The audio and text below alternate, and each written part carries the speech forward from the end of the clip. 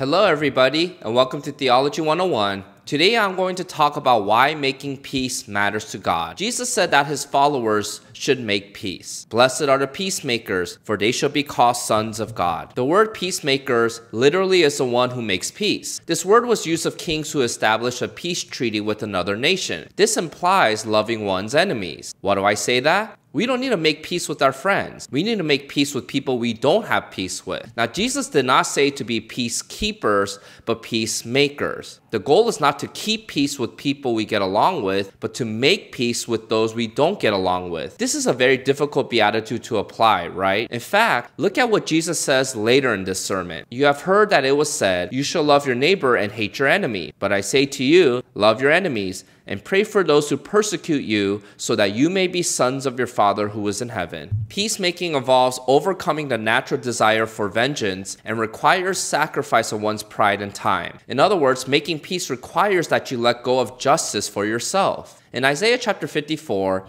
Isaiah calls the new covenant the covenant of peace. God will create a world where the chaos of sin will be reversed with the covenant of peace. You see, one of the results of the new covenant is that it will not only bring peace between God and us, but also bring peace between us and others. The new covenant will result in peace amongst nations, peace amongst individuals, peace with the animals, and peace over the entire world. And as his citizens, we are to reflect Jesus' kingdom peace in a world that lacks peace peace. Now, if we reflect God's kingdom peace in our lives, Jesus adds that this will result in the following For they shall be called sons of God. The phrase sons of God does not refer to the position we have as children of God. We are adopted as children of God because of Jesus' death and resurrection. Here, Jesus is using the phrase sons of as a way to compare our character with God. During this time, people are called sons of something to say their character reflects that person. Remember the nickname Jesus gave John and James? Sons of Thunder. He is not saying that James and John are descendants of thunder. Instead, Jesus is saying their characters reflects that of thunder, violent,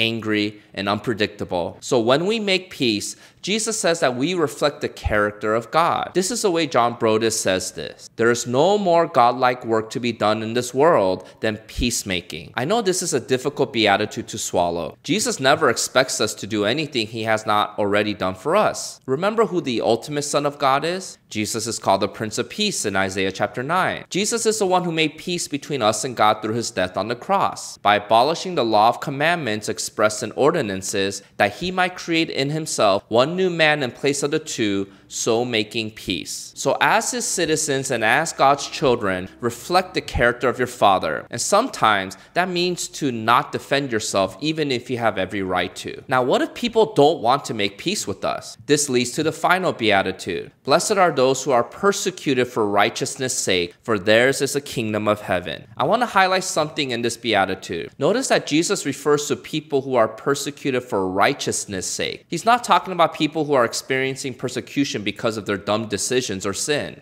But let none of you suffer as a murderer or a thief or an evildoer or as a meddler. Yet if anyone suffers as a Christian, let him not be ashamed, but let him glorify God in that name. In other words, if you stole something and then go to jail, you're not being persecuted because of righteousness. You're simply experiencing justice for your actions. You see, some Christians don't realize that some of the trials or difficulties they go through in life is not a result of their righteousness, but of their bad decisions. However, if you are truly living according to Jesus' kingdom righteousness, expect to meet resistance. But while you suffer for righteousness' sake, remember the second half of this beatitude For theirs is a kingdom of heaven. Notice the verb is in the present tense. Jesus did not say that one day you will have the kingdom of heaven. No, he says that you will possess it today. Keep in mind the context of the sermon. Jesus is talking to mainly Jewish people who were following him. They were being persecuted by Rome for believing in the true God instead of bowing down to Caesar. Some of them witnessed people get murdered by the Roman government for believing in God. If you were in their shoes, wouldn't you want to know that all the pain and suffering you are going through is worth it? Jesus gives them encouragement in this sermon by telling them that they are a part of God's kingdom. Notice that the first and last beatitude end the same way. Blessed are the poor in spirit, for theirs is the kingdom of heaven. Blessed are those who are persecuted for righteousness' sake, for theirs is the kingdom of heaven. Jesus cares for his disciples so much that he expands on his beatitude and personalizes it for them. Blessed are you when others revile you and persecute you and utter all kinds of evil against you falsely on my account. Verses 11 through 12 switches from the third person to second. He is no longer speaking about people, but about them. And he says that they are blessed even when others revile them and persecute them, for theirs is the kingdom of heaven. But I want to highlight a key phrase falsely on my account. Again, Jesus makes it clear that he is not referring to people who have legitimate reasons to say evil against his disciples for living unrighteous lives. Jesus is talking about the fact that people will accuse them of things that are not true. They will be accused of being traitors to Rome, even though that's not true. They will be accused of doing ministry for money, even when that's not true. Jesus adds this Rejoice and be glad, for your reward is great in heaven for so they persecuted the prophets who were before you. Why should we rejoice if we are being persecuted and not accepted, even from people we love?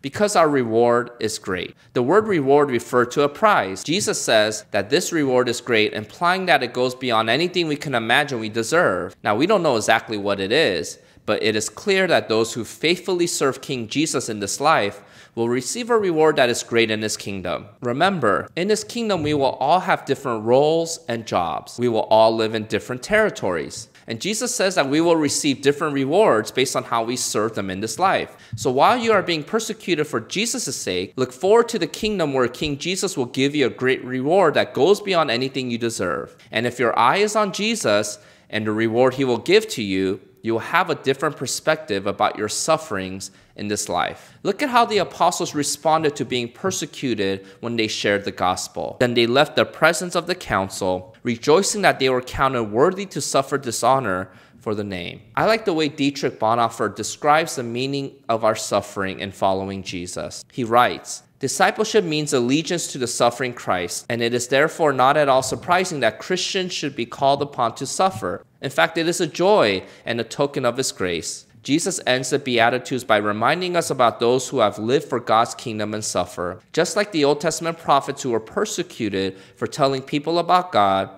so would Jesus' disciples as well. So while we are being mistreated or persecuted because of our faith in Jesus, let us never forget that we are not alone. We are part of a community who have suffered for Jesus' sake. You are not the only one who has been mistreated because of your faith in Christ. You are not the only one who have lost friends because of your faith. Listen, your suffering does not mean that you are failing in life. How do we picture happiness? We imagine a powerful man or woman with Instagram photos of vacation and nice cars and houses. But how does Jesus picture happiness? A person in spiritual poverty, a person crying over their sins, a person who is humble, a person who hungers and thirsts for justice, a person who does acts of mercy, a person who is pure in their motives and action, a person who makes peace, a person who suffers because they live for Jesus and his kingdom instead of the American dream. And it is this type of person who is a part of God's kingdom. Thank you to today's sponsor, Awe and Reverence. They offer a free digital worship music app called Maskil. If you want to find out more, I'll leave some links below in the description box. If you missed the last video about what will make us merciful, I'll leave a link here for you to watch. And until next time,